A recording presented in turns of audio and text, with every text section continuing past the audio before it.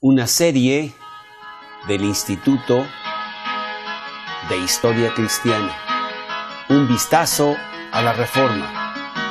Por el doctor Ken Curtis, presidente del Instituto de Historia Cristiana. Debes encontrarlo y quemar sus libros. Arréstalo y tráelo a mi presencia. Dios permita que ponga mis manos en Tyndale y su largo cuello.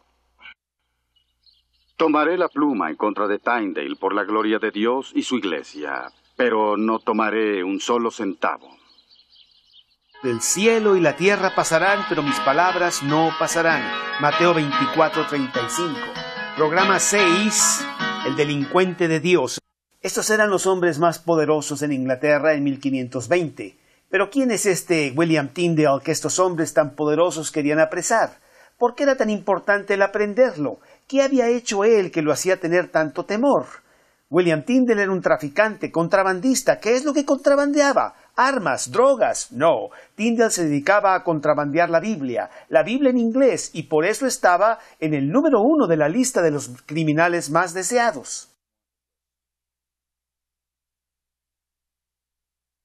En Inglaterra en 1520 no había muchas iglesias ni muchas denominaciones como lo tenemos ahora.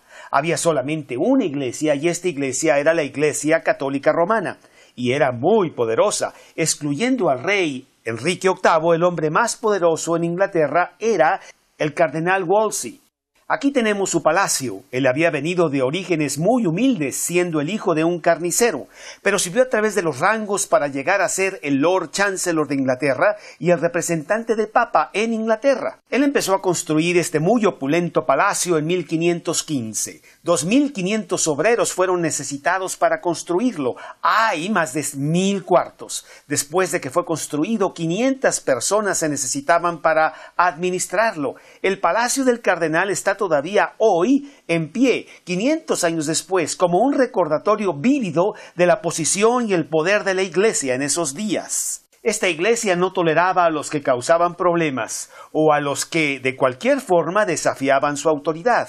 Un incidente en Coventry 1519 es difícil de creer el día de hoy, pero nos da una idea de las circunstancias que prevalecían en los tiempos de Tyndale.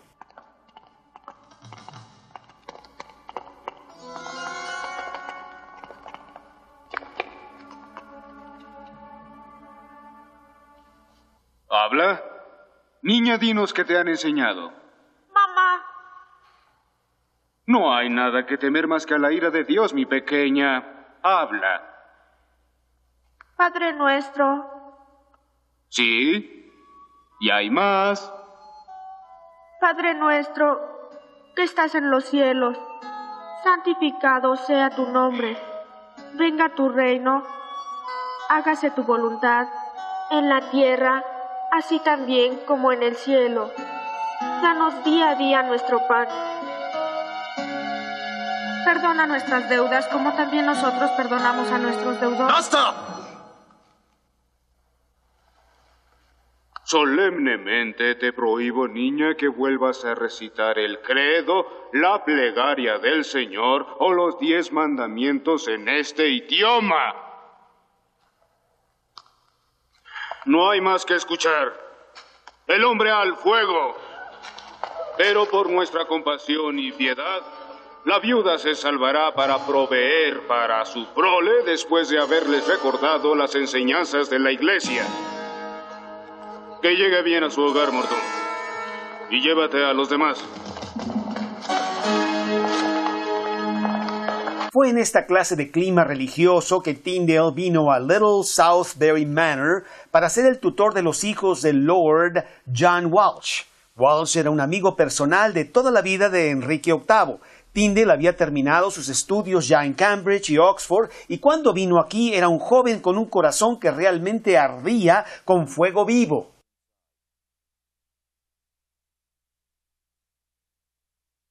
Tyndale anhelaba mucho trabajar por una reforma porque veía una iglesia corrompida por el poder y la gente común viviendo en ignorancia y superstición. Lo que especialmente lo hacía muy triste era que ellos no tenían una Biblia en su propio idioma inglés. Tyndale quería más que cualquier otra cosa en el mundo el ser usado por Dios con sus dones lingüísticos que Dios le había dado porque era un hombre que ya tenía más de siete idiomas. El usar estos dones, el traducir la Biblia al inglés de las lenguas originales, del hebreo y del griego, es lo que más anhelaba. Hay una ocasión memorable en este mismo cuarto cuando Tinde sentado en la mesa con un grupo de personas, incluyendo sacerdotes, estos sacerdotes no tenían ningún interés en las escrituras, por lo que Tinde exclamó fuertemente si Dios me da vida, yo voy a hacer que aún el más humilde campesino tenga mayor conocimiento de las escrituras que ustedes. Este es el cuarto donde Tyndale empezó sus actividades de traducir la Biblia. Recordamos que solo había pasado siglo y medio que John Wycliffe había tratado de traducir la Biblia al idioma inglés. Para la gente, su movimiento parecía estar asociado con una revuelta de los campesinos, por lo que el movimiento fue violentamente aplastado. Pero en la época de Tyndale había otra cosa que estaba sucediendo. Las enseñanzas de Martín Lutero se estaban extendiendo por toda Europa y llegando aquí hasta Inglaterra también. Así que las autoridades eclesiásticas estaban muy, muy a la defensiva. No había ningún problema para Tyndale en sentarse aquí y traducir lo que quisiera, pero si lo trataba de hacer fuera de este cuarto, tenía que ser publicado. Y para ser publicado, él tenía que tener la aprobación de alguien con autoridad dentro de la iglesia. Él buscó y encontró una persona que tal vez podría ayudarle, y este era el obispo de Londres, el obispo Tunstall. Él era un profesor reconocido en griego. Tyndale pensó que esta persona ciertamente entendería y fue a él para pedirle ayuda. Entonces Erasmo debe ser felicitado. Dígame, si yo aceptara que entre a mi servicio, ¿a qué tipo de traducciones se dedicaría? Ah, la del Nuevo Testamento del griego al inglés. ¿Y para eso requiere mi patrocinio? ¿Mi autoridad episcopal? Sí, eminencia. Sí. Hmm. Una obra digna. No hay muchos sacerdotes que tengan ese don de las lenguas que usted y yo tenemos. Y muchos se beneficiarían al comprender las escrituras. Quisiera que el testamento fuera leído por todos, no solo por los clérigos. Con el tiempo, tal vez. Con el tiempo. Considere las estaciones, joven Tyndale. ¿Cómo cambian? El invierno se convierte lentamente en verano, con el intermedio de la primavera. El pueblo tiene hambre de la palabra verdadera ahora. Esa misma palabra verdadera declara que la carne no es para los bebés, sino para los que tienen la fuerza para digerirla. Cuando la Iglesia haya alcanzado la madurez, entonces los alimentaremos. Si Tunstall no podía ayudar a Tyndale, entonces él sabía que no había nadie más que lo podía ayudar, pero tenía que haber alguna manera. Y la había, y la encontró en los muelles de Londres al lado del río Tames. Si no tenía la ayuda de las autoridades eclesiásticas, entonces serían personas comprometidas los que lo ayudarían. Sí, todo será posible.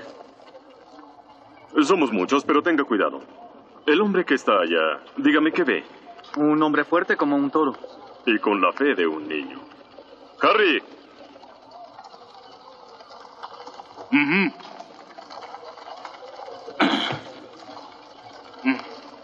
Thomas me habló de su propósito. Y su conocimiento del griego. Que quiere dar las escrituras a los ingleses. Si Dios quiere. ¿No querrá Dios que su palabra sea leída? Wycliffe tradujo las escrituras, pero pocos en Inglaterra las tienen. Tal vez Dios quiere que deseemos su palabra antes de dárnosla. Las personas la desean ahora. Mire.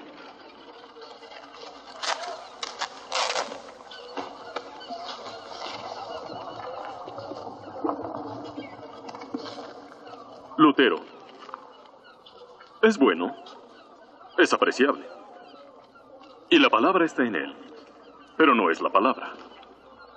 Muchos libros llegan así a Inglaterra. En secreto, sí, por docenas. Pero le diré otra vez, tenga cuidado. La gente ha muerto por menos. Mensaje, señor. Así que en 1524, cuando Tyndale tenía 30 años de edad, Tyndale se fue a Alemania a encontrar una imprenta que le imprimiera todas las copias que él necesitaba para esparcirlas por toda Inglaterra. Tal vez después de todo el pueblo no deba esperar más. Al llegar al continente, él vio a Inglaterra de lejos anhelando regresar para darles a su propia gente una Biblia y además propagarla con sermones de él mismo. Es común a toda la congregación que cree en Cristo Tyndale trabajó incesantemente para completar su traducción del Nuevo Testamento y la mandó imprimir en Colón, en Alemania, 1525. Copias eran contrabandeadas a Inglaterra. Cuando la Iglesia y el Estado lo descubrieron, estaban muy enfurecidos. De pronto, Woolsey, de pronto, no sutil ni insidiosamente, sino de pronto tenemos escrituras en nuestro idioma, por todas partes. De pronto, Woolsey, tenemos la ira de los obispos. De pronto, Woolsey, oímos que el mundo terminará. Y a mí no se me ha informado. ¿Por qué? ¿Es acaso porque solo soy el rey? ¿Es mi majestad tan poca cosa? ¿Quién es William Tyndale? Un sacerdote de baja cuna, señor. ¡Ja! Y es el mismo sacerdote de baja cuna de quien mi embajador en España me previno hace doce meses. Sí. Y es el mismo sacerdote de baja cuna de quien se dice está efectuando la traducción de todas las escrituras. El mismo. ¿Y qué pasó con mi mandato de que fuera encontrado y detenido? Tengo hombres aún ahora en Francia y Alemania y en Flandes que no han dejado de buscarlo, aunque sin éxito. Se mueve de un país a otro. Imprimiendo las escrituras en el lomo de una mula, tal vez, ¿verdad, Tomás? Esto no es un asunto para reírse, señor. ¿Estás diciéndome que no es de risa? ¿A qué idiota medio ciego has comisionado para buscarlo? A John Hackett. Ah, John Hackett. ¿Y dónde John Hackett buscó? Donde quiera que Tyndale ha sido visto, se dice que ha estado. Hamburg, Colonia, Worms, Marburgo, John Wittenberg. ¿Wittenberg? Sí. ¿Está ligado a Lutero? Sin duda alguna. Entonces es un hereje. Debes encontrarlo y quemar sus libros. Arréstalo y tráelo a mi presencia. Ven, Tomás. Quiero hablar contigo.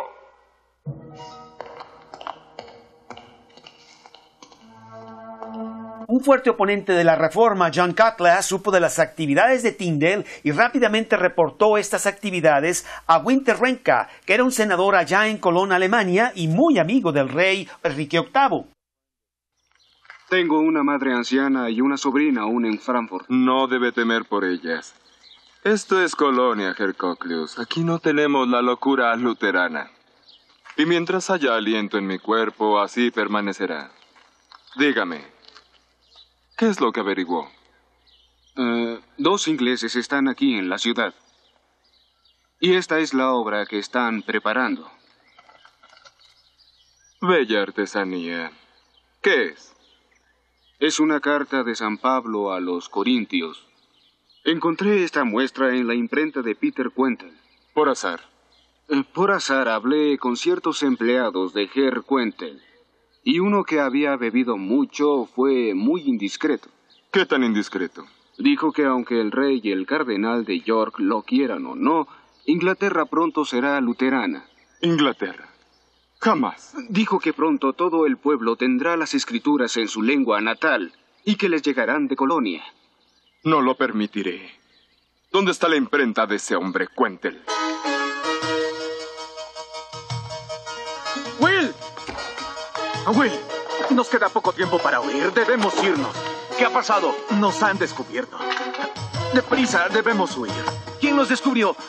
Herman Rink. ¿Y quién nos ha traicionado? Eso ya no importa. Pero los libros, los manuscritos, debemos ir a la imprenta. Tengo lo que necesito. Deprisa. Deben estar por llegar.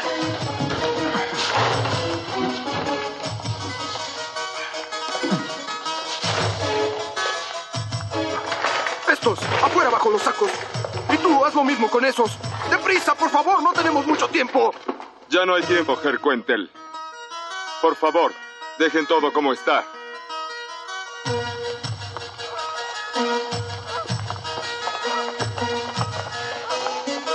Diga, Herr Quentel. ¿Quién pidió este, este pérfido trabajo? Herr Quentel, no es suficiente que pierda su imprenta. Quiere perder también su libertad. Tal vez, tal vez la vida. Su nombre es William Tyndale. William Tyndale.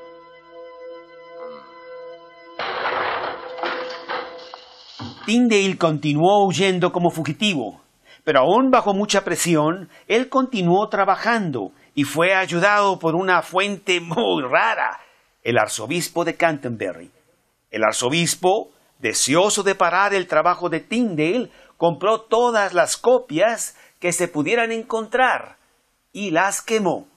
Esa ganancia hizo que Tyndale tuviera dinero para una mejor y revisada edición, así que irónicamente los enemigos de Tyndale estaban financiando su trabajo.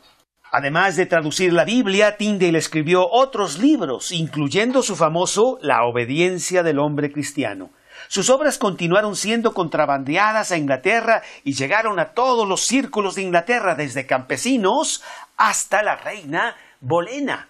Su trabajo fue un gran aliento para las olas de reforma que se estaban llevando a cabo en Inglaterra. Este es el Nuevo Testamento de Tyndale, que data de 1526. Sería la base para la Biblia en inglés por muchos siglos adelante. Las autoridades intensificaron sus esfuerzos para parar a Tyndale y contrataron a un tipo de mala fama llamado Henry Phillips. Phillips venía de una familia distinguida. Su padre había servido en Parlamento, pero Henry había jugado con el dinero familiar y lo había perdido y se había metido en muchos líos. Él era audaz, perverso y listo para ser usado por un poco de dinero. ¿Sabes quién soy? Sí, su gracia, el señor Stokesley, obispo de Londres. ¿Y qué es lo que sabes de mí? que es usted sabio y caritativo. No mientas, no sabes tal cosa. Tunstall era sabio y caritativo, amable y bueno. Yo soy sabio. La caridad es algo que uso a veces, pero no en mentirosos como tú. No, su gracia. Ahora te diré todo lo que yo sé de ti. ¿Eres Henry Phillips? Ladrón, mentiroso, un villano y un reproche para tu padre. Ahora, dime qué cosa tenemos en común. No puede haber una, su gracia, entre un villano como yo y su eminencia. Qué criatura tan torpe y lastimosa. Te lo diré. ¿Qué piensas de estos? La obediencia del hombre cristiano. La práctica de los prelados. La parábola del opulento malvado. El Nuevo Testamento. En inglés. Deben ser despreciados, su gracia. ¿Y su autor? Debe ser colocado en una pira y quemado. ¿Lo ves? Tenemos muchas cosas en común. Dime, ¿por qué crees tú que William Tyndale aún vive, trabaja e infecta esta isla feliz con su veneno? Porque es hábil y se esconde muy bien. Así pues, su captura requiere de un hombre con igual habilidad. Sí, su gracia. Ese hombre eres tú. Vas a buscarlo, arrestarlo y lo traes aquí. Pero su gracia. O buscaré para ti la más oscura, fría y húmeda celda de todo Londres, y ahí es donde acabarás tus días. Como usted ordene. Philip se puso a trabajar rápidamente. Descubrió que Tyndale había ido a Anwar en Holanda y fue allí y encontró a Tyndale. El muy confiado Tyndale lo recibió bien. Phillips inclusive comió en la casa del mercader inglés Thomas Points, donde Tyndale se había estado quedando. Phillips puso en marcha su plan con la Armada Imperial de Bruselas, a 30 kilómetros de distancia. Arregló el poder comer con Tyndale. Era mayo 1535. Tyndale había estado huyendo por más de 10 años. Hecho y para la gloria de Dios. Por la gracia de Dios. Él es quien hace el trabajo si lo dejamos. Así que hemos ganado nuestro pan. William, creo que he sido robado. ¿Robado, Harry? ¿Dónde? Pues no lo sé. Pero no importa, llevaba unos pocos chelines. Excepto que iba a invitarlo a cenar. No, yo tengo dinero. Invitaré la cena. Claro que no. Era mi invitación. Tal vez pueda prestarme lo que perdí. Aquí. Aquí tiene. Yo se lo pagaré tan pronto volvamos. Cuando pueda, Harry, cuando pueda. Estoy en doble deuda con usted, William.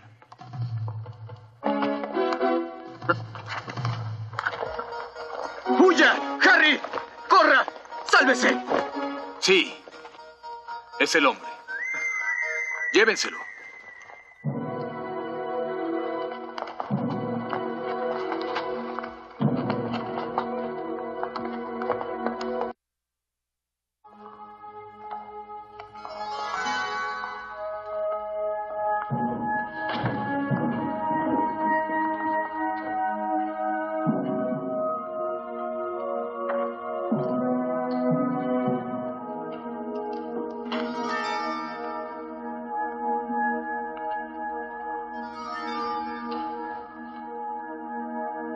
William Tyndale.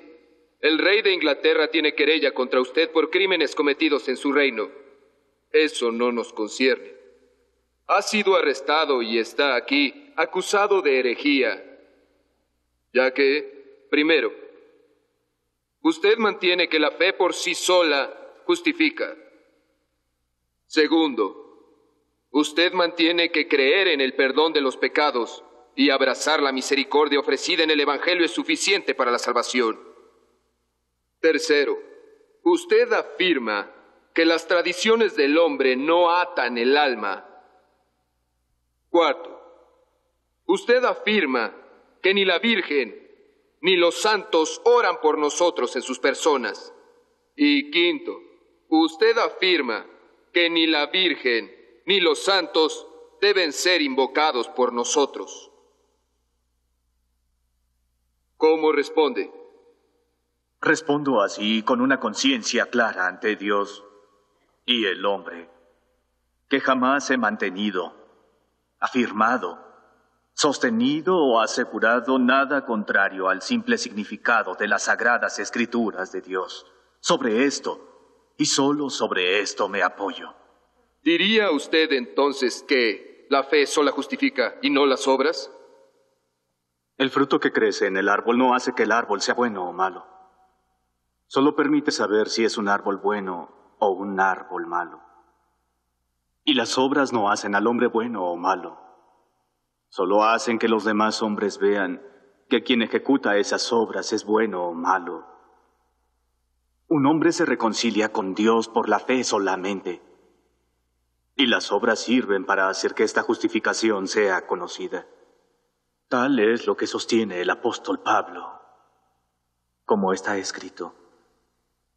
Porque por gracia sois salvos, por medio de la fe, y esto no de vosotros, pues es don de Dios, no por obras, para que nadie se glorie. Aquí estoy en Billboard Bélgica. Esta es la ciudad donde él fue enjuiciado y fue metido aquí, en este castillo. Su prisión estaba en el sótano, fría, pequeña, húmeda. Tenemos la única copia de un escrito a mano de Tyndale, su única, una carta escrita desde esta prisión, aquí, Aquí Tyndale pide por un sombrero, un abrigo para poder pasar el invierno, un pedazo de tela para enmendar sus ropas, también quería una lámpara, una Biblia en hebreo, un diccionario y un libro de gramática. Pero él no iba a necesitar ninguna de estas cosas. En octubre 6, 1536, Tyndale fue ejecutado. Testigos fieles recuerdan sus últimas palabras. Eran realmente muy pocas. Una pequeña oración.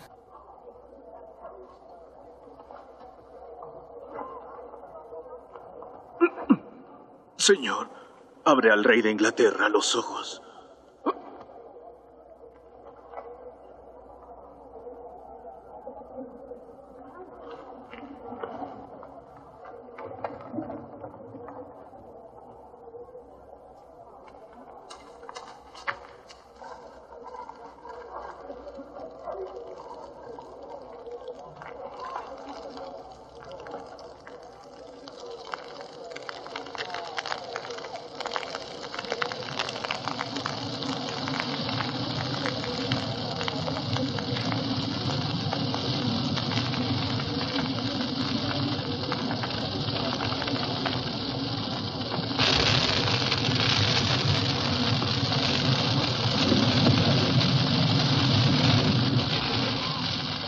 Cuando murió Tyndale, ya había dos Biblias circulando en Inglaterra.